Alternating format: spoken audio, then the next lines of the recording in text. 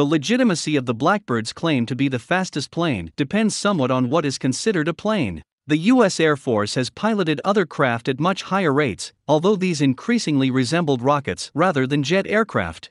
A case in point is the North American Aviation X 15, which holds the record for the fastest manned aircraft ever flown. On October 3, 1967, test pilot William Knight, flying over Edwards Air Force Base in California, clocked in at 4,520 miles per hour, or Mach 6.7. Rather than conventional jet engines, the X 15 had a throttleable rocket engine stored internally that had a whopping 57,000 pounds of thrust output.